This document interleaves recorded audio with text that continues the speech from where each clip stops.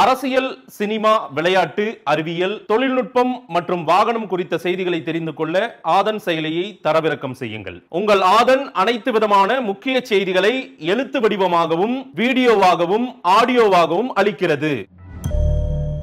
தேசிய பங்குச் சந்தையிலும் மும்பை பங்குச் சந்தையிலும் கடந்த ஐந்து ஆண்டுகளில் ஐந்து மடங்குக்கும் மேல் வளர்ச்சியை சந்தித்த நிறுவனமாக உருவெடுத்திருக்கிறது அதானி போர்ட்ஸ் அண்ட் செஸ் நிறுவனம்.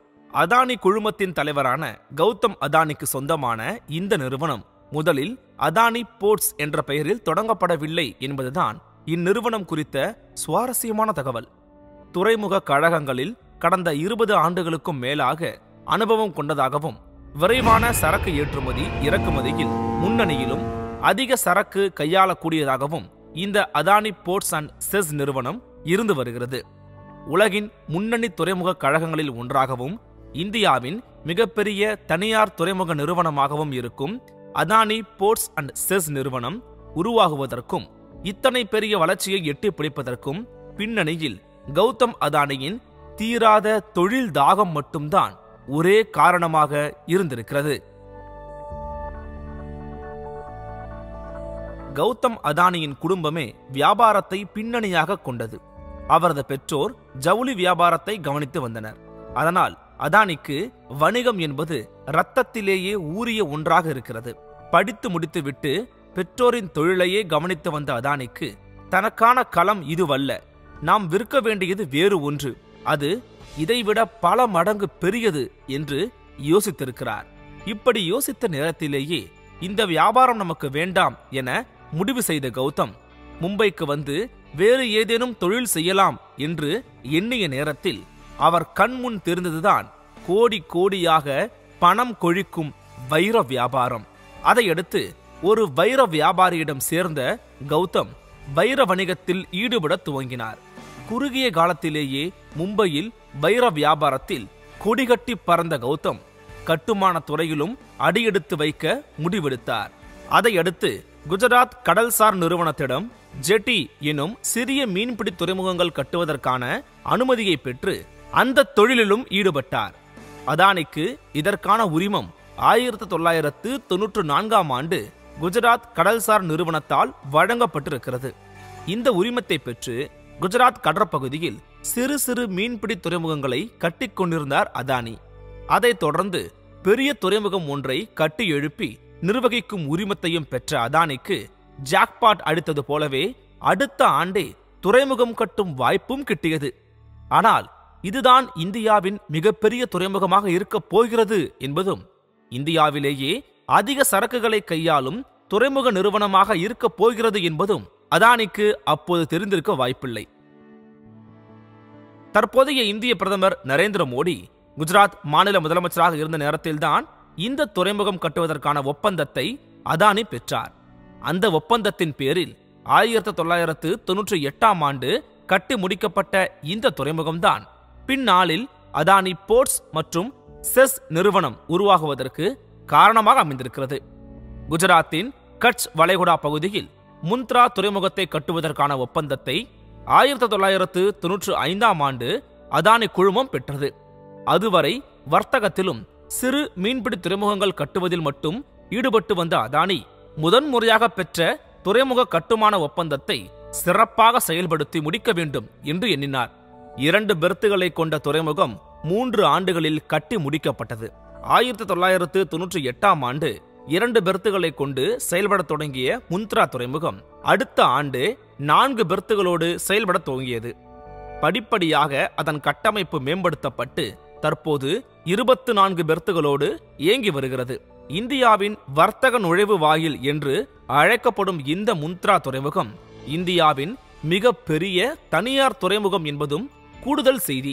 இரண்டாயிரத்தி இரண்டாம் ஆண்டு மே மாதம் முதல் இந்த நிறுவனம் முந்த்ரா துறைமுகத்தில் கச்சா எண்ணெய் ஏற்றுமதி இறக்குமதி தொடர்பாக கச்சா எண்ணெய் கையாளுவதற்கான அனுமதியை இந்தியன் ஆயில் கார்ப்பரேஷனிடம் பெற்று குரு கோவிந்த் சிங் ரெஃபைனரிஸ் லிமிடெட் நிறுவனத்தோடு இணைந்து கச்சா எண்ணெய் இறக்குமதியையும் கவனித்து வருகிறது. இரண்டாயிரத்தி இரண்டாம் ஆண்டு நவம்பர் மாதம் இந்தியன் ஆயில் கார்ப்பரேஷன் நிறுவனத்தை தொடர்ந்து இந்திய ரயில்வேயிடமும் ஒப்பந்தம் ஏற்படுத்தி கொண்ட அதானி நிறுவனம் சரக்கு போக்குவரத்தை ரயில் மூலமாகவும் மேற்கொள்ள துவங்கியது. இரண்டாயிரத்தி மூன்றாம் ஆண்டு ஜனவரி மாதம் முந்த்ரா சர்வதேச கண்டெய்னர் முனையத்தோடு ஏற்படுத்திக் கொண்ட ஒப்பந்தத்தின் அடிப்படையில் முந்த்ராவில் ஒரு கண்டெய்னர் முனையத்தை அதானி போர்ட்ஸ் நிறுவனம் உருவாக்க தொடங்கியது. ஒப்பந்தம் ஏற்பட்ட சில மாதங்களிலேயே முழு வீச்சுடன் இயங்கவும் தொடங்கியது. சிங்கிள் பாயிண்ட் மூரிங் என்று அழைக்கப்படும் கச்சா எண்ணெய் இறக்குமதிக்காக பயன்படுத்தப்படும் மிதவை அமைப்பையும் குஜராத் கடல் பகுதியில் நிறுவியிருக்கிறது அதானி குழுமம். இந்த அமைப்பு இரண்டாயிரத்து ஐந்தாம் ஆண்டு முதல் பயன்பாட்டிலும் இருக்கிறது. இதனால் எளிதில் கச்சா எண்ணெயை இறக்குமதி செய்யவும் முடிகிறது. இந்த முந்த்ரா துறைமுகத்தின் மூலம் உருவான அதானி போர்ட்ஸ் மற்றும் செஸ் நிறுவனம் துறைமுகங்களை கட்டி நிர்வகிப்பது மட்டுமல்லாமல் சரக்கு போக்குவரத்தை கவனிக்கும் லாஜிஸ்டிக்ஸ் நிறுவனம் கடற்பகுதியை தூர்வாரும் நிறுவனம் செஸ் எனப்படும் சிறப்பு பொருளாதார மண்டல தொழிற்பேட்டை உருவாக்கும் நிறுவனம் ஆகியவற்றையும் இணைந்தே நடத்துகிறது. சுருக்கமாக சொல்ல வேண்டுமென்றால் இந்தியாவின் தடையற்ற சரக்கு போக்குவரத்துக்கு தேவையான அனைத்தையும் கவனித்து வருகிறது இந்த அதானி போர்ட்ஸ் மற்றும் செஸ் குழுமம். முந்த்ரா துறைமுகத்தில் உரங்கள் இரும்பு வேதிப்பொருட்கள் கார்கள் உள்ளிட்ட ஆட்டோமொபைல் சார்ந்த ஏற்றுமதி இறக்குமதியையும் இந்த நிறுவனமே கவனித்துக் கொள்கிறது. தற்போது அதானி போர்ட்ஸ் மற்றும் செஸ் நிறுவனத்துக்கு சொந்தமாக நேரடியாகவும் மறைமுகமாகவும் இருபத்தி எட்டு நிறுவனங்கள் இருக்கின்றன. இந்த அதானி போர்ட்ஸ் மற்றும் செஸ் குழுமத்தின் தலைவராகவும் நிர்வாக இயக்குநராகவும் அதன் நிறுவனர் கௌதம் அதானி இருந்து வருகிறார். இயக்குனராக ராஜேஷ் அதானியும் மற்றுமொரு இயக்குனராக கௌதம் அதானியின் மகனான கரண் அதானியும் இருந்து வருகின்றனர். கணேசன் ரகுராம் பி எஸ் ஜெயக்குமார் மாலே மகாதேவியா கோபால் கிருஷ்ண பிள்ளை அவந்திகா சிங் பரத் சேத் நிருபமா ராவ் ஆகியோர் இந்த அதானி போர்ட்ஸ் அண்ட் செஸ் குழுமத்தின் இயக்குநர்களாக செயல்படுகின்றனர். இன்று இந்தியாவின் முன்னணி தனியார் துறைமுக நிறுவனமாக இருக்கும் அதானி போர்ட் அண்ட் செஸ் கடந்த இருபது ஆண்டுகளில் பல நிறுவனங்களை கையகப்படுத்தி இமாலய வளர்ச்சியை எட்டியிருக்கிறது. இரண்டாயிரத்தி ஆறாம் ஆண்டு முந்த்ரா சிறப்பு பொருளாதார மண்டலமும் அதானி கெமிக்கல்ஸ் நிறுவனமும் ஒன்றிணைந்து முந்த்ரா போர்ட் மற்றும் செஸ்ஸாக இயங்கத் தொடங்கியது. இரண்டாயிரத்தி ஏழாம் ஆண்டு இந்நிறுவனம் டாடா பவர் நிறுவனத்தோடு ஏற்படுத்தி கொண்ட ஒப்பந்தத்தின் அடிப்படையில் நிலக்கரி இறக்குமதியிலும் ஈடுபடத் தொடங்கியது. அதன் பிறகுதான் பொதுமக்களின் பங்களிப்பை பெறும் வகையில் தேசிய பங்குச் சந்தையிலும் மும்பை பங்குச் சந்தையிலும் இந்நிறுவனமே இடம்பெற்றது. அதைத் தொடர்ந்து மாருதி சுசுகி நிறுவனத்தின் கார் ஏற்றுமதிக்கான ஒப்பந்தமும் இந்நிறுவனத்துக்கு கிடைக்க ஆட்டோமொபைல் முனையமாகவும் உருவெடுத்தது அதானியின் முந்த்ரா துறைமுகம். இரண்டாயிரத்தி ஒன்பது இரண்டாயிரத்தி பத்து நிதியாண்டில் Adani Mormugao port terminal private limited Adani Hazira port private limited and Mundra international airport private limited ஆகிய நிறுவனங்களை முந்த்ரா துறைமுக நிறுவனத்துடன் இணைத்தது அதானி குழுமம் Adani Petronet port private limited மற்றும் பெட்ரோநெட் எல்என்ஜி பிரைவேட் லிமிடெட் ஆகிய நிறுவனங்கள் இணைந்து பொருட்களை ஏற்றுமதி இறக்குமதி செய்யும் அளவுக்கு துறைமுகத்தை வடிவமைக்க துவங்கின. Adani logistics limited inland conveyor private limited நிறுவனத்தோடு இணைந்தன. அதன் பிறகு இன்லேண்ட் கான்வேர் பிரைவேட் லிமிடெட் நிறுவனமானது அதானி லாஜிஸ்டிக்ஸ் லிமிடெட் என்று பெயர் மாற்றம் செய்யப்பட்டது. இரண்டாயிரத்தி பத்து இரண்டாயிரத்தி பதினோராம் ஆண்டு நிதியாண்டில் இந்த நிறுவனம் Adani Vizag coal terminal private limited Adani international container terminal private limited Mundra port private limited Australia மற்றும் Mundra port holdings private limited Australia ஆகிய நிறுவனங்களை இணைத்து அதானி என்டர்பிரைசஸ் லிமிடெட் என்ற பெயரில் இயங்கத் தொடங்கியது. இரண்டாயிரத்தி பத்தாம் ஆண்டு டிசம்பர் மாதம் பனிரெண்டாம் தேதி முந்த்ரா துறைமுகத்தின் மேற்கு பகுதியில் சரக்கு போக்குவரத்து தொடங்கியது. இதன் மூலம் இந்தியாவின் மிகப்பெரிய தனியார் துறைமுகம் என்ற அந்தஸ்தையும் முந்த்ரா துறைமுகம் பெற்றது. அதன் பிறகுதான் முந்த்ரா துறைமுக நிறுவனம் முந்த்ரா துறைமுகம் மற்றும் சிறப்பு பொருளாதார மண்டலம் என்று பெயர் மாற்றம் செய்யப்பட்டது. இந்த நிறுவனத்துக்கு முந்த்ரா துறைமுகத்தை தொடர்ந்து கன்லா துறைமுகத்தை கட்டமைக்கும் அனுமதியும் கிடைக்கவே சுவிட்சர்லாந்து நிறுவனமான எம்எஸ்சி மெரிடேரியன் கப்பல் நிறுவனத்தோடு இணைந்து முந்த்ரா துறைமுகத்தில் கண்டெய்னரை கையாளும் இன்னொரு முனையத்தையும் நிறுவியது. அதன் பிறகு அதிக அளவிலான சரக்குகளை கையாளும் துறைமுகமாக மாறியது முந்த்ரா துறைமுகம். அந்த காலகட்டத்தில் குறிப்பாக ஒரு சாதனையும் இந்த துறைமுகம் நிகழ்த்தியது. ஒரே நாளில் ஒரு லட்சத்து ஐம்பத்தி ஓராயிரத்து இருநூற்று இருபத்தி ஒன்பது மெட்ரிக் டன்ஸ் நிலக்கரியை கையாண்ட சாதனை தான் அது. இது இந்தியாவிலேயே அதிகம் என்பதும் கூடுதல் தகவல். அதானி போர்ட் நிறுவனம் குஜராத்தின் முந்த்ரா துறைமுகத்தை தொடர்ந்து இந்தியாவில் தாதுக்கள் அதிகமாக கிடைக்கும் மாநிலங்களான ஒடிசா மேற்கு வங்கம் சத்தீஸ்கர் ஆகிய மாநிலங்களை இணைக்கும் வகையில் தம்ரா துறைமுகம் சூரத் அருகே ஹசிரா துறைமுகம் தாகேஜ் துறைமுகம் விசாகப்பட்டினம் துறைமுகத்தில் டெர்மினல் மார்முங்கோ துறைமுகத்தில் டெர்மினல் திருவனந்தபுரத்தில் விழிஞ்சம் துறைமுகம் சென்னை அருகே காட்டுப்பள்ளி துறைமுகம் எண்ணூரில் ஒரு டெர்மினல் டுனா டிஜி என இந்தியாவின் ஒன்பது கடற்பகுதிகளில் துறைமுகத்தை நிறுவி நடத்தி வருகிறது அதானி போர்ட்ஸ் மற்றும் செஸ் குழுமம். உலகின் அதிநவீன தொழில்நுட்பங்களை தங்களது துறைமுகத்தில் புகுத்தி வரும் அதானி போர்ட்ஸ் நிறுவனம் தங்கு தடையற்ற துரிதமான போக்குவரத்து எளிதில் வாடிக்கையாளர்களால் தங்களது பொருட்கள் கண்டெய்னர்கள் எங்கிருக்கிறது என்பதை அறியும் வசதி என வாடிக்கையாளர்களை கவரும் வகையில் அனைத்து வசதிகளையும் ஏற்படுத்தி கொடுத்திருப்பதால் பெருநிறுவனங்கள் அனைத்தும் அதானி துறைமுகத்தை விரும்புகின்றன. சரக்கு போக்குவரத்தை கவனித்து வரும் லாஜிஸ்டிக்ஸ் நிறுவனத்தை நடத்தி வரும் அதானி போர்ட்ஸ் நிறுவனம் இந்தியா முழுவதும் தங்களது கிளைகளை வைத்திருக்கிறது. தமிழகத்தில் எண்ணூர் காட்டுப்பள்ளி ஆந்திராவில் எலவூர் கேரளாவில் திருவனந்தபுரம் கோவா மும்பை முந்த்ரா பானிபட் நாக்பூர் விசாகப்பட்டினம் கொல்கத்தா தமோரா என இந்தியாவின் பெரும்பாலான மாநிலங்களில் லாஜிஸ்டிக்ஸ் நிறுவனத்தை நடத்தி வருகிறது அதானி குழுமம். லாஜிஸ்டிக்ஸ் துறையில் ஆட்டோமொபைல் வாகனங்கள் தானியங்கள் தொழிற்சாலையில் உற்பத்தி செய்யப்படும் பொருட்கள் என ஒவ்வொன்றுக்கும் தனித்தனியே நிறுவனங்களை நடத்தி வருகிறது. பொருட்கள் ஒரு இடத்திலிருந்து இன்னொரு இடத்துக்கு அனுப்பும் வகையில் அதன் அளவு மற்றும் தேவையை பொறுத்து சரக்கு போக்குவரத்தையும் அதானி போர்ட்ஸ் மற்றும் செஸ் நிறுவனம் கவனித்து வருகிறது.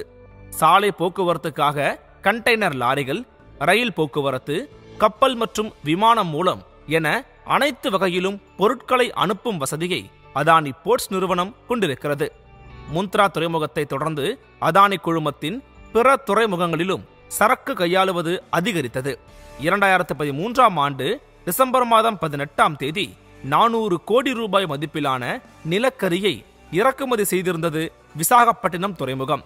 அதைத் தொடர்ந்து எல்என்டி நிறுவனத்தின் கட்டுமான பணிகள் டாடா ஸ்டீல் நிறுவனம் ஆகியவற்றோடு இணைந்து ஒடிசா மாநிலத்தின் தம்ரா துறைமுகத்தில் ஏற்றுமதி இறக்குமதிக்கான பணிகளை கவனிக்க தொடங்கியது. இரண்டாயிரத்து பதினான்காம் ஆண்டு ஜூலை மாதம் பதினாறாம் தேதி மத்திய சுற்றுச்சூழல் துறையின் அனுமதி கிடைத்ததும் குஜராத் மாநிலம் முந்த்ரா பகுதியில் ஒரு சிறப்பு பொருளாதார மண்டலத்தை நிறுவியது அதானி குழுமம். இந்த சிறப்பு பொருளாதார மண்டலம் எட்டாயிரத்து நானூற்று எண்பத்தி ஓரு ஏக்கர் பரப்பளவில் துறைமுகத்தையும் விமான நிலையம் ரயில் நிலையங்களை எளிதில் இணைக்கும் வகையில் தரமான சாலை வசதியோடு நிறுவியது அதானி குழுமம். இரண்டாயிரத்தி பதினைந்தாம் ஆண்டு திருவனந்தபுரம் துறைமுகத்தில் ஏற்றுமதி இறக்குமதி முனையத்தை நிறுவிய அதானி குழுமம் அடுத்த ஆண்டே ஆஸ்திரேலிய நிறுவனமான Abbot point operations private limited நிறுவனத்தை கையகப்படுத்தி குயின்ஸ்லாந்து பகுதியில் ஒரு நிலக்கரி கையாளும் முனையத்தையும் அதானி குழுமம் அமைத்தது. அதானி போர்ட் அண்ட் லாஜிஸ்டிக்ஸ் நிறுவனத்துக்கு சொந்தமான தூர்வாரும் நிறுவனம் துறைமுகப் பகுதிகளில் கடற்பரப்பை ஆழப்படுத்தும் பணியையும் செய்து வருகிறது. முந்த்ரா கொச்சின் திருவனந்தபுரம் காட்டுப்பள்ளி கங்காவரம் உள்ளிட்ட கடற்பகுதிகளை ஆழப்படுத்தியதுடன் கங்கை நதிக்கரை நகரங்களான பாரா முதல் ஃபாராக்கா இடையே இருக்கும் ஆற்றுப் பகுதியையும் இந்நிறுவனமே ஆழப்படுத்தி இருக்கிறது தேசிய நீர்வழித்தட திட்டத்தின் கீழ் ஃபராக்கா முதல் கஹல்கான் வரையிலான ஆற்றுப் பகுதியையும் பீகாரின் சுல்தான்கங் முதல் பாரா வரை மகேந்திரபூர் வழித்தடத்திலான கங்கை நதியை ஆழப்படுத்தும் ஒப்பந்தத்தையும் இந்த நிறுவனமே பெற்றிருக்கிறது. இரண்டாயிரத்தி பதினேழாம் ஆண்டு பஞ்சாபின் லூதியானாவில் ஒரு சரக்கு கையாளும் முனையத்தை நிறுவியது அதானி குழுமம். சரக்குகளை கண்டெய்னர் மூலம் கையாளுவதில் பிரான்ஸ் நாட்டு நிறுவனத்தோடு இணைந்து செயல்படுகிறது அதானி போர்ட்ஸ் நிறுவனம். பிரான்சின் சிஎம்ஏ சிஜிஎம் குழுமமும் அதானி குழுமமும் இணைந்து கடந்த பதினைந்து ஆண்டுகளுக்கும் மேலாக கண்டெய்னர் கையாளும் தொழிலில் ஈடுபட்டு வருகின்றன. இரண்டாயிரத்தி பதினாறாம் ஆண்டு முதல் அதானி குழுமத்தின் துறைமுக நிறுவனம் கண்டெய்னர்கள் மூலம் சரக்குகளை கையாளும் லாஜிஸ்டிக்ஸ் நிறுவனம் கடலை தூர்வாரும் நிறுவனம் சிறப்பு பொருளாதார மண்டல நிறுவனம் என அனைத்து நிறுவனங்களும் இணைக்கப்பட்டு அதானி போர்ட்ஸ் மற்றும் செஸ் என்ற பெயரில் ஒரே நிறுவனமாக இயங்க துவங்கியது. இந்த நிறுவனம் பல மைல் கற்களை எட்டிய முதல் தனியார் நிறுவனம் என்ற பெருமையை அடைந்திருக்கிறது. இரண்டாயிரத்தி பத்தாம் ஆண்டு இந்த நிறுவனம் குஜராத்தின் முந்த்ரா துறைமுகத்தில் அமைத்த நான்கு வழிச்சாலை இந்தியாவின் முதல் தனியார் நெடுஞ்சாலை என்ற பெருமையை பெற்றது. இந்த சாலையில் நூறு மெட்ரிக் டன் எடை கொண்ட வாகனங்கள் எந்த சிக்கலும் இன்று பயணிக்கும் வகையிலும் அமைக்கப்பட்டிருக்கிறது. இந்தியாவிலேயே முதன்முறையாக மிகப்பெரிய சரக்கு கப்பலையும் முந்த்ரா துறைமுகம் கையாண்டிருக்கிறது. பத்து லட்சம் டன்கள் உரங்களையும் இந்த முந்த்ரா துறைமுகமே கையாண்டிருக்கிறது. இரண்டாயிரத்தி பத்தாம் ஆண்டு வரை ஒரு துறைமுகத்தில் இவ்வளவு உரங்கள் கையாளப்பட்டதே இல்லை. இரண்டாயிரத்தி பத்தாம் ஆண்டு பங்கு வர்த்தகத்தில் சிறிய முதலீட்டாளர்களை ஈர்க்கும் விதமாக பத்து ரூபாய்க்கு விற்பனை செய்யப்பட்ட பங்குகளை ஐந்தாக பிரித்து இரண்டு ரூபாய் பங்குகளாக மாற்றியது அதானி போர்ட்ஸ் இரண்டாயிரத்தி பன்னிரெண்டாம் ஆண்டு முந்த்ரா போர்ட் நிறுவனம் முந்த்ரா போர்ட் மற்றும் செஸ் என்று பெயர் மாற்றப்பட்டது. இந்த பெயர்தான் உலகளாவிய வர்த்தகத்துக்காக அதானி போர்ட் மற்றும் செஸ் என்று பின்பு மாற்றப்பட்டது. தமிழகத்தில் காட்டுப்பள்ளி துறைமுகத்தில் எல்என்டி நிறுவனத்தோடு இணைந்து துறைமுகத்தையும் சரக்கு போக்குவரத்தையும் நிர்வகித்து வருகிறது அதானி குழுமம். இரண்டாயிரத்தி பதினேழாம் ஆண்டு Adani ports and special economic zone limited நிறுவனம் ஐநூறு மில்லியன் அமெரிக்க டாலர்கள் அளவுக்கு அதாவது இந்திய மதிப்பில் சுமார் மூவாயிரத்தி ஐநூறு கோடி ரூபாய் முதலீட்டை பெற்று சிறப்பு பொருளாதார மண்டலத்தை நிறுவியது. ஆண்டுதோறும் அதானி துறைமுக நிறுவனம் கையாளும் சரக்குகளின் அளவும் அதிகரித்திருக்கிறது.